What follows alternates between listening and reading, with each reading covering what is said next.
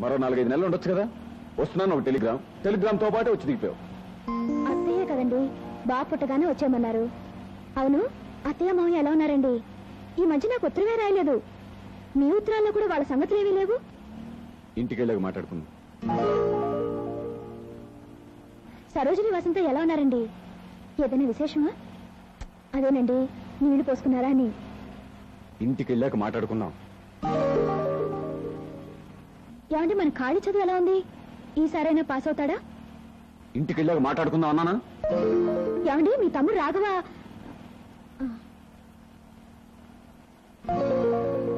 Driver గారు మన ఊర్లో వర్షం బాగా పడుతోందా? ఏమిటి కన్న పడుతోందా? సరే. పిచ్చి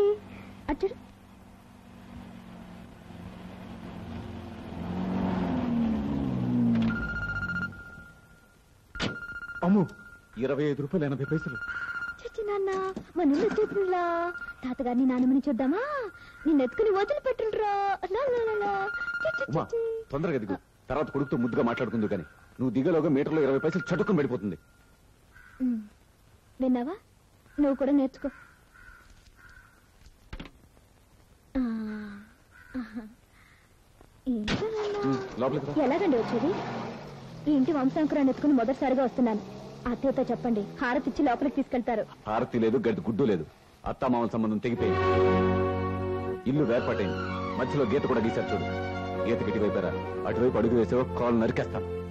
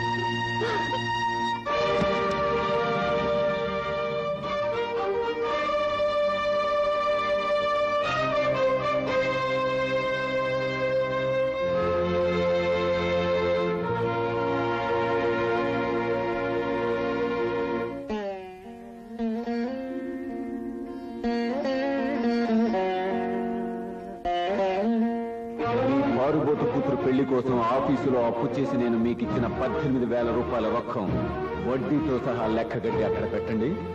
మరుక్షణం నేను మీ ఇల్లు విడిచి వెళ్ళిపోతాను తల కడిగేసుకున్నాను. అన్న వడ్డించమ్మా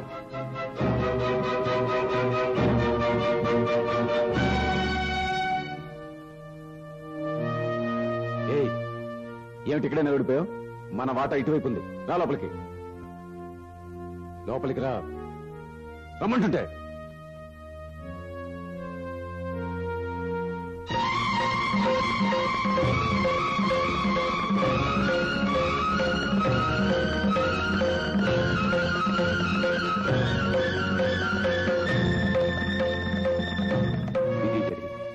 ఎలాగో తంటాలు పడి ఈ దరిద్రాన్ని వదిలించుకున్నాను. ఇప్పుడు మళ్ళీ నువ్వు వాళ్ళతో కలిసిమెలిసి ఉండే ప్రయత్నం చేశావో నీ రక్తం కళ చూస్తాను అండర్స్టాండ్ ఆఫీస్లో నాకు యాక్టింగ్ ఉంది. రాత్రి కొంచెం ఆలస్యంగా వస్తాను. ఏయ్ నవ్వవే. వస్తాను.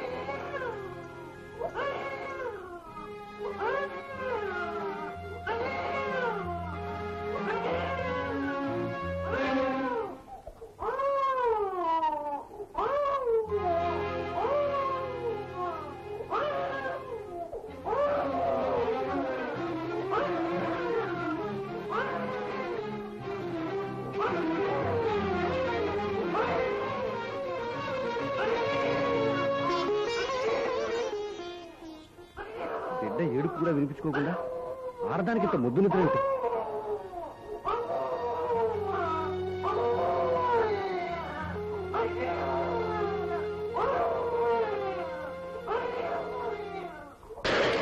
లాలి